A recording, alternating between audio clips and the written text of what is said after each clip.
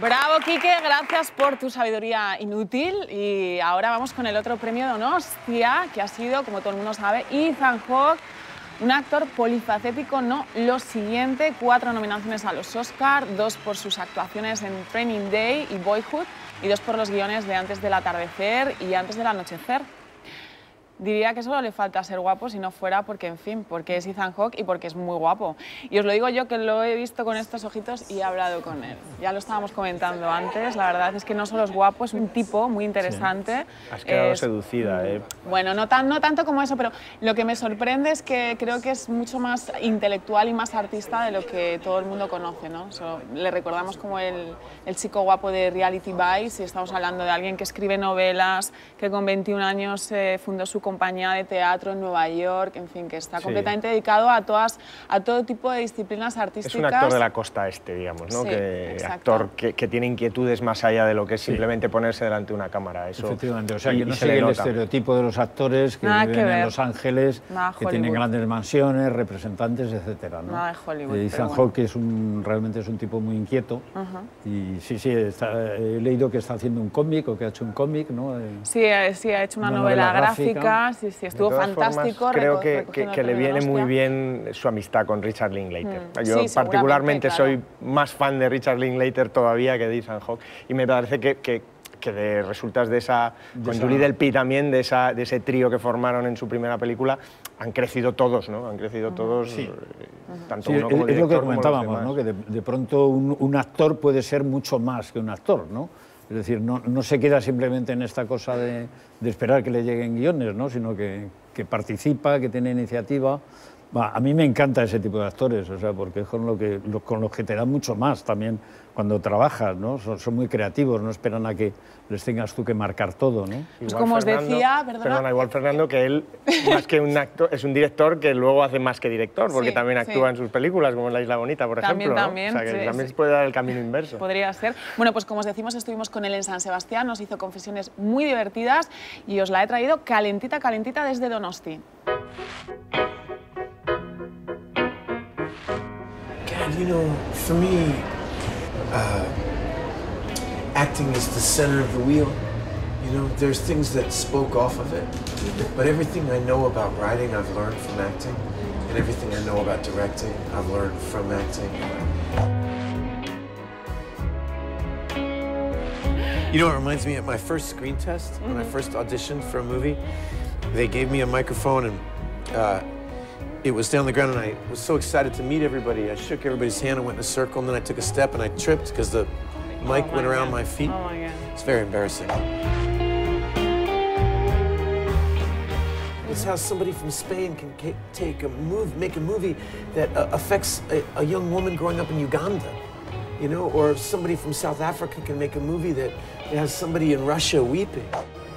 For lack of a better word, it's where the collective consciousness lives, and mm-hmm. it's where our psyche as a culture lives. Mm-hmm. And if our if our psyche is healthy, like a mm-hmm. person, you know, if our psyche is healthy, then we grow. Pues si os habéis quedado con más ganas de Ethan Hawke, no me extrañaría nada, esta semana misma podremos ver en salas la película que le ha traído al festival, Los Siete Magníficos. Ya sabéis que es el remake del clásico de 1960 del mismo título, que a la vez se basaba en Los Siete Samuráis de Akira Kurosawa.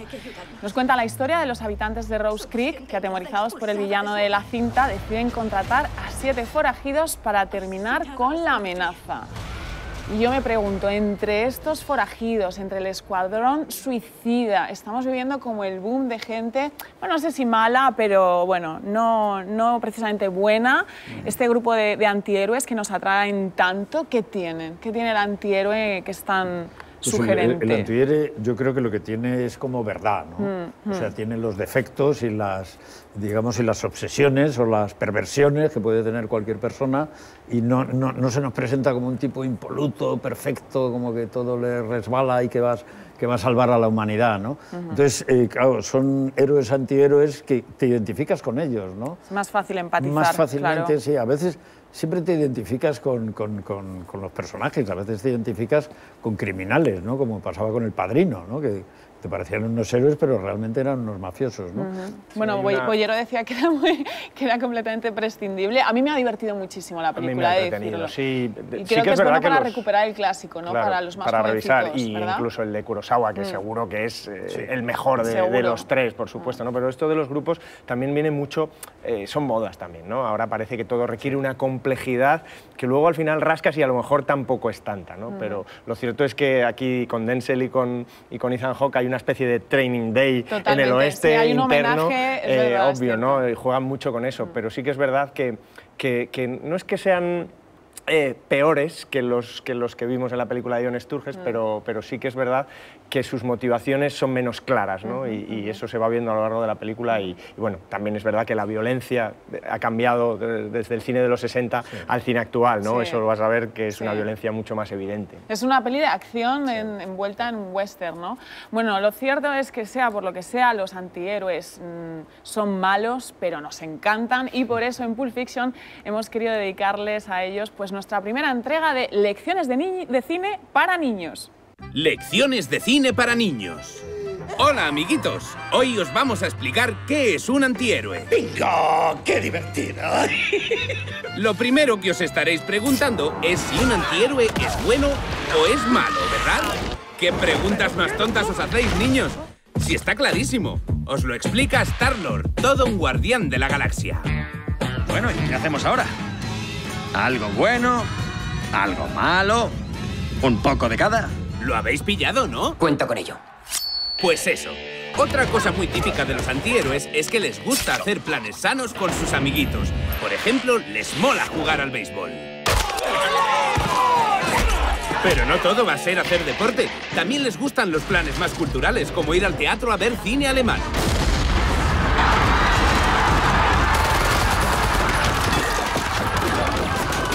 Y sobre todo les encanta seguir las típicas rutinas que llevamos todos.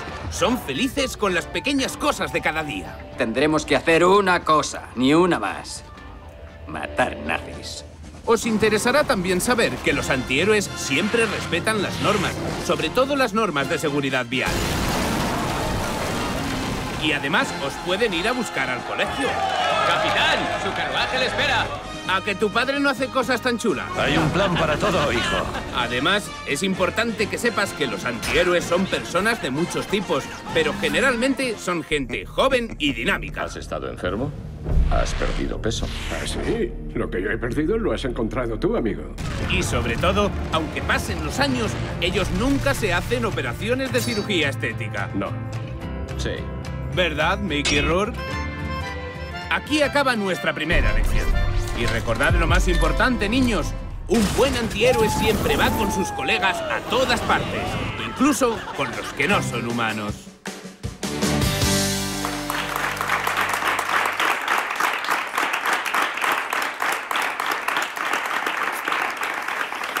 Pues seguimos con San Sebastián porque toda la actualidad del cine pasa por allí estos días y retomamos eh, la película de Sorogoyen porque nos ha encantado. Que Dios nos perdone. Un thriller dirigido, como digo, por Rodrigo Sorogoyen que nos presenta a Roberto Álamo y Antonio de la Torre como dos policías muy distintos en busca de un asesino en serie en el Madrid de 2011. La crisis económica, el 15M y la visita del Papa son el marco para una historia de tensión extrema. La película nos ha encantado, no lo podemos dis- disimular ni decirlo más veces. Lo que está claro es que Antonio Latorre y Roberto Álamo también están brillantes y, y también el actor que hace de asesino, que no se puede decir quién es Claro. y no lo vamos a, a- a decir nosotros aquí, pero ¿tienen posibilidades para la, la concha de plata? Yo creo que sí, yo creo que sí. Eh, Probablemente el género de la película eh, les, les quita posibilidades porque nunca se acaba de valorar tanto el cine tan de género, el thriller, eh, como otras dramas. Como otro- y en los festivales me da la sensación que la comedia, el thriller, se suele mirar menos ese tipo de cosas. Pero la verdad que conociéndoles además están espléndidos. Antonio de la Torre además hace un personaje con una característica física, una tartamudez muy interesante. Eso sí se puede contar, claro. Eso Exacto, sí, eso sí. Y Ya Roberto ahí, Álamo que tiene una fuerza fuerza brutal, ¿no? Es tremendo, ¿no? Después de haberle visto haciendo Urtain, pues cómo no hacerle policía, ¿no? Y a mí me recuerda mucho, tiene un aire, ese calor, ese agobio, esos asesinatos, un poco, sería un poco el True Detective llevado a este Madrid actual de la crisis, de, de- de- del agosto agobiante, está, está francamente bien. ¿Crees que tienen posibilidades esta Yo, pareja yo- de yo actores? creo que, yo creo que sí, además, por todo lo que voy oyendo, debe ser extraordinario. Igual ¿no? estamos generando demasiadas expectativas, ¿no? Eh, Tenemos que tener un Bueno, poco es bueno cuidado. Bueno, y fíjate, son dos act- actorazos, o sea, Antonio Latorre le hemos visto bastante últimamente, pero Roberto Álamo, que es un actor que, que ha hecho más teatro, que hizo Urtain, que estaba genial, y que yo creo que, que va a ser su gran oportunidad esta, ¿no? Es decir, posiblemente, yo no sé si lo va a ganar, pero seguro que va a hacer méritos para estar ahí muy arriba y posiblemente luego será un actor muy a considerar en los Goya y en todo esto. Bueno, ya se llevó el Goya por eh, la gran familia española, pero Sí, era como de reparto, de Era de reparto, o sea que yo creo que sí, que sí, sí. va a ser una gran oportunidad. Bueno, el caso es que están geniales y nosotros tenemos una sorpresa. Les hemos hecho una visita en San Sebastián junto a su director y claro, hemos hablado con ellos. ¿Qué tal ha sido trabajar conmigo? A mí me gustas cuando callas porque estás como ausente. Ya está, venga. ¿Qué tal ha sido trabajar con Roberto? No, contigo, mamón. Ah, perdón. ¿Qué, qué tal ha sido trabajar conmigo? Lo hacemos fatal, ¿no? Cállate. Ah, sí. Eh, Oye, eh, oye, Kiki, trabajar conmigo, ¿qué tal? ¿Quieres dejar de hablar ya? Ah, sí. Ha sido muy bonito. He aprendido muchas cosas y sobre todo he descubierto a un actor y una persona maravillosa. Genial como tu relación con los afectos, ¿eh? ¿Qué ha sido lo peor de trabajar conmigo? Cuando se acabó la película y dejé de verte. Qué bonito. ¿Y tú no te cansas un poco de que yo esté todo el rato como imitándote? No solamente imitándome a mí, sino imitando a un montón de gente. Es decir, cuando se pone pesado, no hay, hay que hacer un poco el Marlon Brando que yo hago, que él no me dice, que le miro, hago así, y ya él se apaga como una vela solamente. ¿Qué es lo que más te gusta de trabajar con los actores? Lo que más me gusta es lo curioso que es trabajar con distintos actores. Es como un máster en dirección de actores, pero no solo con un maestro, sino con dos. ¿Cuál ha sido tu anécdota favorita? Bueno, esto no lo hemos contado. Pues resulta, resulta que eh, a Roberto le llamamos la señora para hombre, porque resulta que cuando había escenas de correr, no sé cuánto tal, pues a él no le venía bien porque decía que tal, que le dolía una pierna, y entonces llegaba Ru- Ruiz y decía, ¿podemos hacer otra? Y es que tengo tal, o sea, no sé cuánto. Yo decía, a la señora le viene mal ahora acelerar un poco el ritmo en esta toma y tal. O sea, una persecución trepidante por las calles de Madrid. Y por castigo divino resulta que yo tenía que rodar un momentito que eran como 20 metros una carrera y yo como hago footing todas las mañanas y tal y me creo que estoy en forma pues dije "Ah, tal", me pegué dos carreras y a la tercera me dio un desmayo una lipotimia y me caí al suelo y blanco Justicia y este divina. pasó así claro, haciéndose un Marlon Brando como él dice con la botella de agua y dice ¿qué pasa abuela? ¿necesitas algo? Algunas de las películas que se han presentado en San Sebastián llegan a las salas este fin de semana. Vamos a verlo en los estrenos de la semana. La música es mi vida. La architodo Meryl Streep regresa emparejada con Hugh Grant para contarnos la historia real de una excéntrica soprano. Florence Foster Jenkins amaba el canto, pero no era un amor correspondido. La dureza con la que los críticos le trataban llenaba sus representaciones de morbosos espectadores ávidos de antiespectáculo. Oh, las críticas son magníficas. Pese a las risas de la gente, andaba ella caliente. Acabarán adorándote. I, I play a man who was really an out of work actor, not very successful, who married this enormously wealthy woman. And without her, he's nothing. And so, one of the reasons he protects her so fiercely in, in the story is because if he loses her, then he's, he's back to being nothing. Con ustedes, el poeta Pablo Neruda. El director Pablo Larraín regresa con una biografía que rompe las normas del género. El artista soy yo. El artista aquí soy yo. Luis Neco interpreta al poeta y senador Pablo Neruda en esta biografía que relata la persecución del comunismo chileno en tiempos de Videla. Quiero ser testigo de tu muerte. Tras sus pasos, el incansable inspector encarnado por Gael García Bernal. Decía el poeta Ángel González que el porvenir se llama así porque no llega nunca, Yo no estoy aquí para hacer política. Doy clase a los alumnos, a los que les interesa. pero a veces llega de golpe, como le ocurre al personaje al que da vida Isabelle Huppert, Nathalie. hace un tiempo. La reacción de esta profesora ante la pérdida de lo supuestamente imprescindible es la base de esta película que mira hacia el interior. He reencontrado mi libertad. Es extraordinario. ¡Hasta la cima! Hemos creado un paraíso. Merece la pena explorar las vidas de los que viven de otra manera, y esta familia es un buen ejemplo. Tienen perritos calientes. Agua envenenada. El personaje de Mortensen, entre cansino y admirable, vertebra una familia que vive aislada de una sociedad dañina de la que nunca se puede escapar del todo. Si vienes, haré que te. Pese a un escaso presupuesto, la película está funcionando muy bien. Lo bueno es que salió en julio en Estados Unidos y sigue en cines ahí. Tiene buena reputación, digamos, con el- tanto con, con los críticos y con, con el público. Es lo que voy a averiguar. Y terminamos con un poco de historia reciente de nuestro país. El estreno más esperado de la semana corre a cargo del director Alberto Rodríguez, que lleva el thriller a otro nivel con El hombre de las mil caras. Un retrato del espía paesa protagonizado por Eduard Fernández, Carlos Santos y José Coronado. Pues es el momento de hablar con el primer invitado en plató de Pulp Fiction, nada más y nada menos que José Coronado.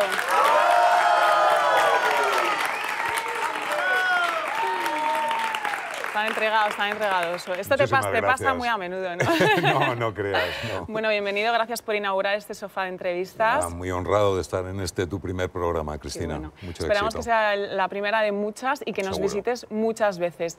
Viendo los estrenos de la semana, veíamos el, El hombre de las mil caras, la nueva película de Alberto Rodríguez, una de las películas más esperadas. Eh, ¿Qué podemos contar sobre esta historia, sin desvelar nada, por supuesto, para situar al espectador? ¿En qué momento de sus vidas vamos a conocer a estos personajes, a Roldán y a Paesa?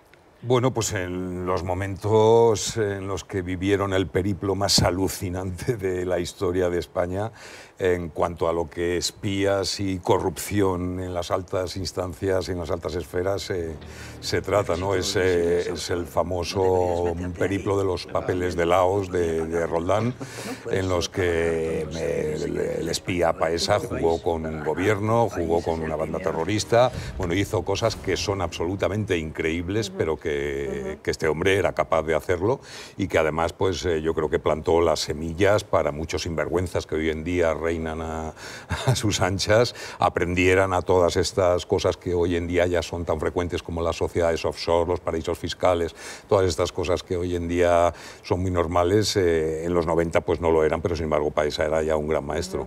Fue un adelantado él para, para su tiempo. Bueno, Sí. estamos hablando de un hombre que fue banquero en Suiza, que fue traficante internacional de, de armas. Ah, Acabamos antes diciendo lo que no hizo.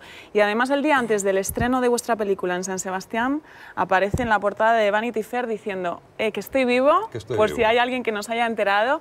¿Hay algo de Paesa que te haya sorprendido haciendo esta película? Bueno, eh, me ha sorprendido toda su vida, porque cómo puede mantener eh, esta Durante posición tiempo, durante 40 años de, de- de- de realmente ocultarse, porque es un hombre que quiere ser el eterno protagonista, la prueba la ha dado, que justo un día antes de estrenar nuestra película en el Vanity Fair sale en portada diciendo estoy vivo, pero sin embargo nadie sabe dónde, se ha, se ha muerto las dos o tres veces cuando ha querido, ha resucitado, y entonces es un tipo que no, que no es fanfarrón, no es el clásico protagonista que le gusta figurar, sino que es un hombre siempre en la sombra, pero que ha movido unos hilos capaces de, de derribar gobiernos, vamos. No, pero cuando aparece lo hace con clase, ¿eh? a, a su manera, digamos. Eh, bueno, mira, la clase es una de las cosas probablemente que les faltaba eh, a, a Paesa y por lo, que, por lo que tenía un amigo, que es el en el que está inspirado el personaje que yo Es interpreto. verdad, tú le das ese toque. Ese toque, ¿no? ese, ese savoir-faire, ese charme que a Paesa pues, le, le, le faltaba. Era un hombre bastante primario.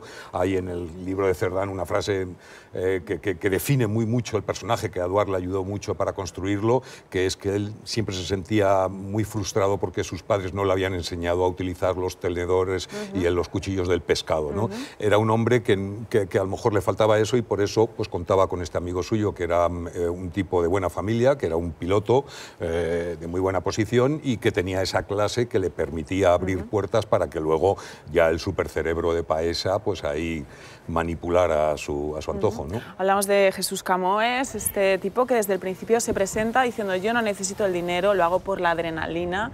¿Tú has llegado a entender por qué se metían estos berenjenales, Jesús Camoes. Sí, porque era muy atractivo, claro, y sobre todo en esos tiempos de impunidad en el que, como bien dice Camoes, que empieza la película, eran, eran tiempos en los que un avión era un avión, no era un autobús como son ahora, ¿no? Con las compañías de low cost. ¿no? Exacto. y, y entonces supone que, que que, que, que, que, cualquier- que él que lo tenía todo, que no tenía necesidad, ni quería ser rico, ni quería nada, pero el, el vivir las aventuras que, le proporcionaba Paesa, pues eh, le ponía muy cachondo y, y entraba, entraba a morir, ¿no? Y además es Y- fantástico que es el narrador de esta historia, ¿no? Es el narrador, sí, porque yo creo que es el personaje más humano. De- en esta película hay una galería de, de- de personajes maravillosos, pero todos muy frikis. Eh, y, y- y, sin embargo, pues eh, eh, Camoes era el más humano y es el que utiliza Alberto Rodríguez para invitar al espectador de su mano a, a- a desenmarañar todos estos tinglados que, que- que montó Paesa y en especial este capítulo de los papeles de Laos. Bueno, Alberto Rodríguez, uno de los mejores cineastas de nuestro país. Ahí estamos todos de acuerdo. Tiene fama de ser muy exigente. Tú has dicho, es de una precisión que te puede llegar a volver loco. Sí. Es de los directores más exigentes con los que De has- los más exigentes, sin en duda alguna. sentido. Pero vamos, eh, yo trabajaría siempre con, eh, con Claro, él. Es, es un repetimos, ¿no? que no se permite el, el 9,9, quiere, quiere el 10 si está, si está al alcance. Pero es eso que te digo, sarna con gusto no pica, ¿no? Y entonces luego ver los resultados. Además es un hombre con las ideas clarísimas, sabe perfectamente lo que quiere contar, quiere hacer una película que entretenga a cualquier espectador, aunque sea ficción, pero es que al mismo tiempo, además, yo ya lo he bautizado como un despierta conciencias o un levanta alfombras, que, que, bueno, que cuenta historias que además hasta ahora yo creo que el cine español siempre ha sido remiso, a diferencia de los americanos que no tienen ningún problema en hablar de sus guerras de Vietnam y de, de poner sobre la mesa sus vergüenzas. Nosotros aquí siempre nos la hemos cogido más con papel de fumar y sin embargo Alberto cada película que hace al mismo tiempo que entretiene quiere dejar su granito a la sociedad para que reflexionemos de cómo somos. Bueno, decía Manuel Cerdán que habíais inaugurado el, el género de picaresca, o sea que quién sabe, las noticias de hoy igual son películas mañanas, habéis a- mañana habéis abierto esa ventana, eh, competís en sección oficial en San Sebastián y la verdad es que un premio sería un empujón fantástico de cara al estreno, ¿no? Sí, bueno, yo siempre digo que, que- que ir a San Sebastián ya es un premio, porque a San Sebastián no llega cierto. nada que no tenga calidad, ¿no? Cierto. Pero bueno, hombre, siempre los, los- los premios se apoyan. Pero yo creo que esta película también, el boca a boca, va a ser eh, muy interesante. Es una película, una factura impresionante, cada plano es una obra de arte. Es una peli además muy universal, porque eh, nos centramos en... eh, podría ser un, un thriller eh, pol- político, pero yo creo que es un, más un thriller con trasfondo político, ¿no? Y, y, lo que habla es de tramposos, de pícaros, y que eso es una figura universal y por lo tanto pues es perfectamente exportable al mundo entero. ¿no? Yo creo que va a ser una película que va a dar muchas veces la vuelta al mundo.